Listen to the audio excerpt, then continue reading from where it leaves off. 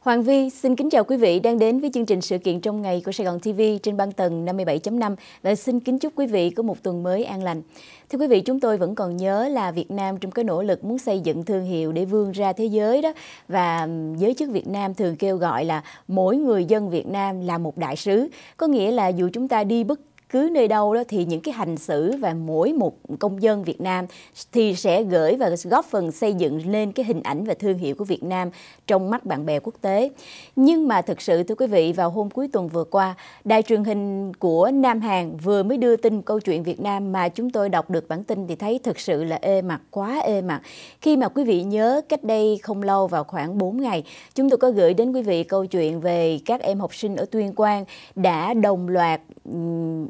gọi là tấn công và có cái hành vi rất là bạo lực đối với cô giáo. Thì sau này thì các em lý giải là vì cũng đã bất bình với những cái hành xử và những cái phát ngôn trước đây của cô. Nhưng mà dù nói gì thì nói đồng loạt một nhóm các em học sinh chỉ có học ừ, ừ, cấp 2 là middle school bên này đó thưa quý vị đã dồn cô giáo vào góc tường rồi ném dép rồi văng tục và nói những cái lời thực sự là rất là đau lòng và rất là khó nghe. Và toàn bộ cái nội dung đó đã xuất hiện trong bản tin thời sự của đài truyền hình uh, Châu Xuân của TV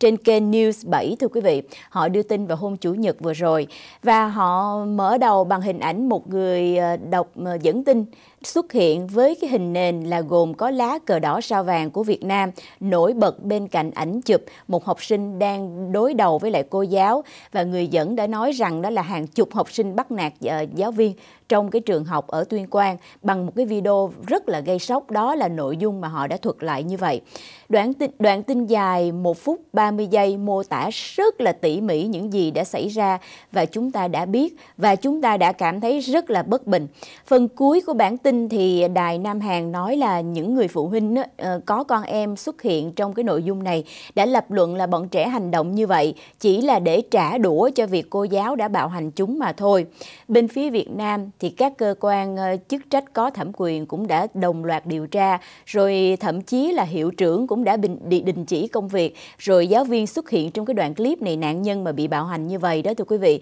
đã xin chuyển trường và dù có bất kỳ lý do gì nữa một, nói một lần nữa, sự kiện này đã làm cho ngành giáo dục Việt Nam thực sự đã cảm thấy rất là ê chề và họ cần phải nhìn lại cái cách mà họ đã vận hành xưa nay và cả cha mẹ cũng cần phải nhìn lại và hơn ai hết, đội ngũ thầy cô cũng phải ngừng, cũng phải nhìn lại bản thân mình. Chúng tôi đã gửi đến quý vị tất cả những nội dung liên quan và cả cái suy nghĩ nhận định của chúng tôi. Nói tóm lại là tất cả đều phải nhìn lại một lần nữa không chứ không thể để như cái tình trạng giáo dục hiện nay là thầy đánh trò. Mới đây vào hôm cuối tuần, một thầy giáo đã đánh trò ở trường cấp 2 ở Hồng Bàng, ở quận 5 ở Sài Gòn đó thưa quý vị, mà đánh trò đến mức độ là phải nhập viện bị bị tổn thương thì đó là lý do mà nó gây ra cái tình trạng xáo trộn hiện nay trong cái nền giáo dục Việt Nam. Đoạn tin trên Nam Hàn đã thu hút gần 123.000 lượt xem thưa quý vị và đây là một cái sự rất là xấu hổ cho cái gọi là thương hiệu là hình ảnh của Việt Nam trên trường quốc tế. Và đó là tin tức đầu tiên, còn chuyển đến một tin khác quan trọng hơn. Nếu quý vị theo dõi và đọc báo um, truyền những cái cơ quan truyền thông trong nước trong suốt những ngày cuối tuần sẽ thấy rất là dồn dập và dày đặc báo chí Việt Nam đã đăng tải về cái cuộc uh, gặp sắp tới đây, một chuyến thăm sắp tới đây của ông Chủ tịch Trung Quốc là ông Tập Cận Bình đến Việt Nam vào ngày 12 và ngày 13 tháng 12 thưa quý vị. Và trước đó vài ngày coi như là hàng loạt các cái cơ quan truyền thông được lệnh là phải đăng tải nhiều cuộc phỏng vấn các cái giới chức cấp cao của đảng nè, rồi ca ngợi chuyến thăm Việt Nam của ông Tập Cận Bình nè. Rồi ờ, trong đó người ta đọc thấy hàng loạt những cái lời tán tán dương cái chuyến đi này. Ví dụ như là Phó trưởng ban đối ngoại Trung ương Ngô Lê Văn nói là chuyến thăm của ông Tập Cận Bình sẽ tạo động lực mạnh mẽ cho cái mối quan hệ giữa Việt và Trung ngày càng thấm thiết hơn. Và đặc biệt là đó trong cuối tuần vừa qua, chúng tôi có đọc được một cái bài phỏng vấn À, về cái uh, chuyến đi này. Có nghĩa là họ truyền thông Việt Nam đã có một cái cuộc phỏng vấn với lại đại sứ Trung Quốc tại Việt Nam là ông Hùng Ba. Ông đã có cuộc gặp với giới truyền thông đó. Và ông nói một câu như thế này nè thưa quý vị là Tổng bí thư Tập Cận Bình rất nhớ, rất mong gặp Tổng Bí thư Nguyễn Phú Trọng. Đó là lời của ông Hùng Ba nói và nghe rất là thấm thiết và rất là cảm động phải không? Nhưng mà có nhiều người bình luận họ cho rằng á, nghe cái cảm giác giống như một hoàng thượng và cảm thấy rất là nhớ và những cái nước chư hầu và mong là được gặp các nước chư hầu vậy. Thì đó là một cái quan điểm hai chiều, những cái ý kiến hai chiều chúng tôi chỉ là nhìn nhận và thuật lại với quý vị.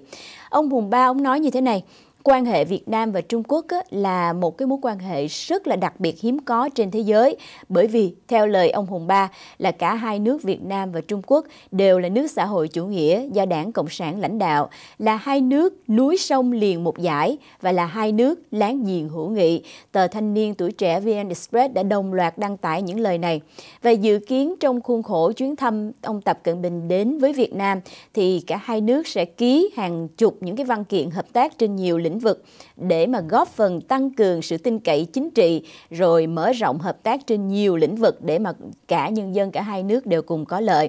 Khi mà được hỏi về ấn tượng lớn nhất trong suốt 5 năm qua ở Việt Nam, ông Hùng Ba, đại sứ, quý vị đang nhìn thấy trên màn hình, ông kể lại ông nhớ nhất trong 5 năm,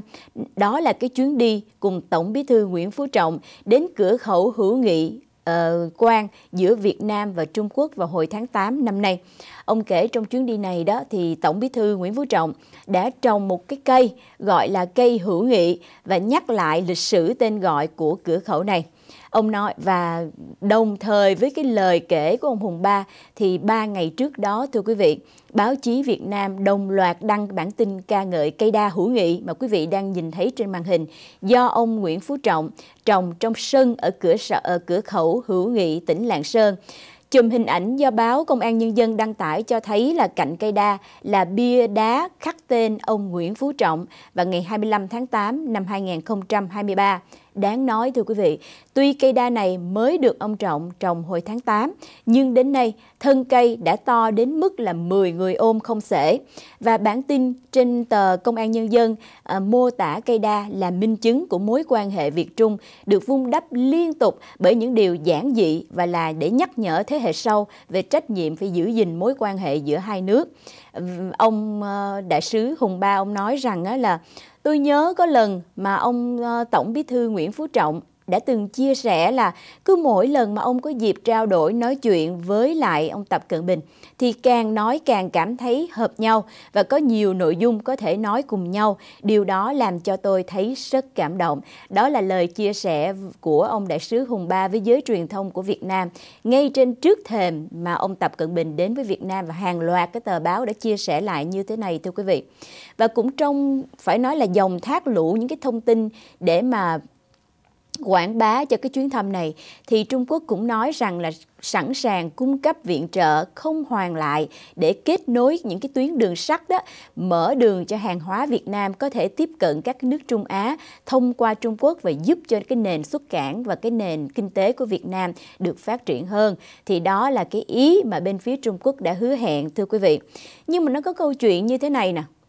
một mặt thì Trung Quốc hết lời ca ngợi và hết nói, lời nói rằng sẽ hết lòng hỗ trợ cho bên phía Việt Nam và rõ ràng là mối quan hệ giữa Trung Quốc và Việt Nam đã là đối tác chiến lược toàn diện, không có giới hạn từ rất là lâu rồi. Nhưng mà có một chi tiết là rất nhiều người không thể hiểu nổi riêng trong cái lĩnh vực visa đó, thưa quý vị. Tại sao cho đến thời điểm này Trung Quốc chỉ có giảm lệ phí visa thôi mà hoàn toàn không có miễn visa cho các công dân Việt Nam.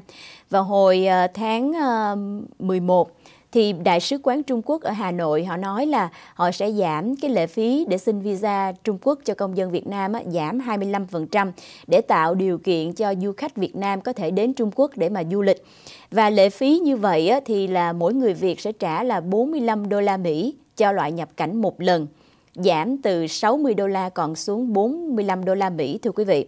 Và nhưng mà đó, mọi người thắc mắc là tại sao Việt Nam đó vốn là được xem là à, láng giềng tốt, anh em tốt, đồng chí tốt rồi hữu hảo và được tân bốc hết lời như thế này. Nhưng mà Trung Quốc lại không có miễn visa, trong khi Trung Quốc ở khu vực Đông Nam Á lại miễn visa cho những nước như là Brunei, Malaysia và Singapore. Đó là cái ý mà người dân Việt Nam cảm thấy rất là khó hiểu. Và ở cái chiều ngược lại đó, chính phủ của Thủ tướng Phạm Minh Chính cũng nói rằng đã nới lỏng những cái chính sách thị thực đối với công dân Trung Quốc từ ngày 15 tháng 8 năm 2023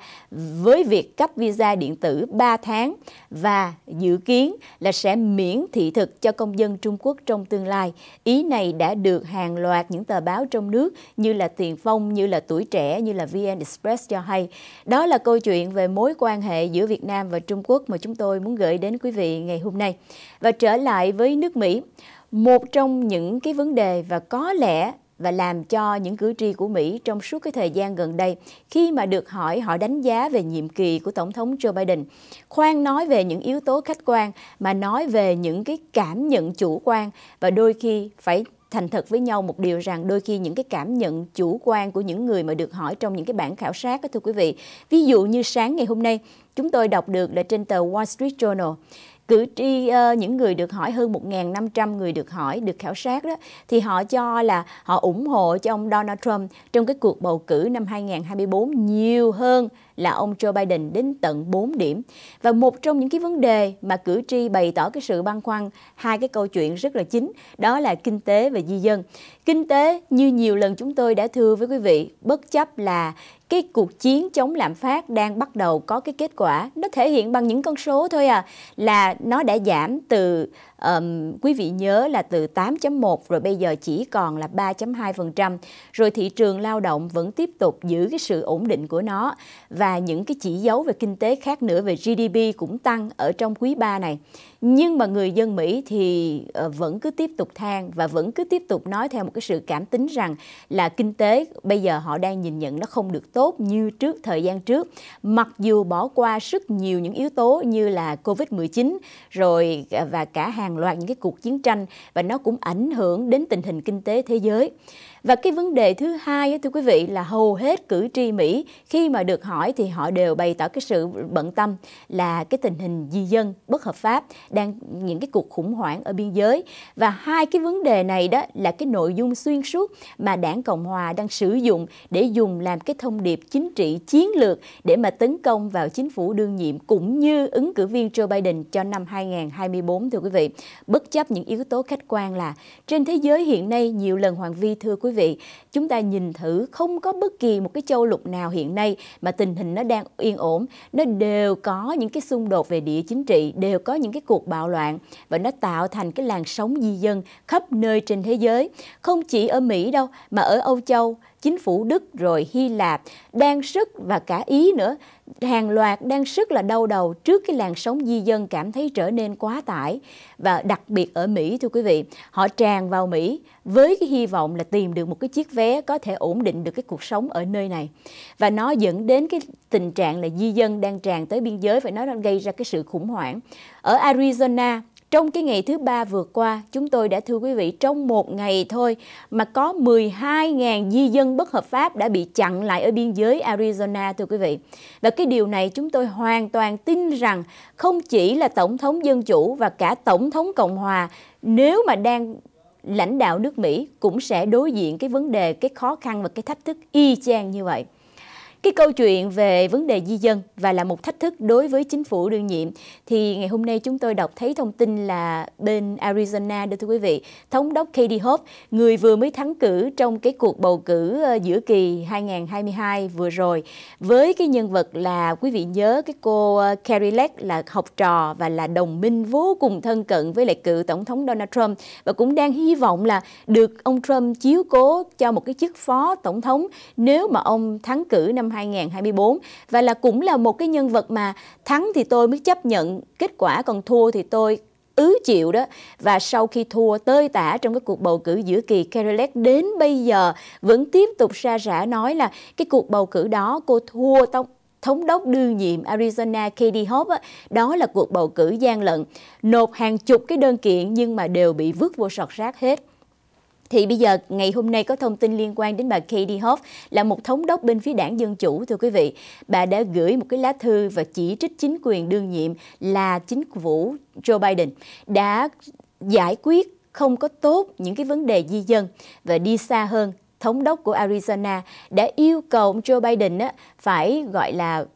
reimbursement có nghĩa là bồi thường lại trả lại số tiền 512 triệu đô la Mỹ từ cái tiền ngân sách liên bang phải trả lại cho tiểu bang Arizona vì sao? Bởi vì tiểu bang đã bị quá tải về vấn đề di dân và họ phải chi một cái số tiền rất là lớn để mà giải quyết những vấn đề khủng hoảng rồi giới công lực um, cho và cả những cái phương tiện để mà chuyên chở di dân rồi giải quyết những cái vấn đề này thì ờ, bà thống đốc bà cảm thấy là bà rất là bực mình và bà đang kêu gọi là chính quyền liên bang phải làm nhiều hơn nữa để cùng với tiểu bang giải quyết vấn đề này. Và không chỉ có thống đốc đâu mà cả những cái vị uh, thượng nghị sĩ ở bên phía đảng Dân Chủ cũng cùng đứng trong cái lá thư và gửi cho bên tòa Bạch Ốc như vậy. Và nó xuất phát từ vào hồi tuần vừa rồi thưa quý vị thì lực lượng biên phòng um, cơ quan ờ, quản lý biên phòng của liên bang đó họ đã đóng cửa một cái biên giới ở Arizona là Lookville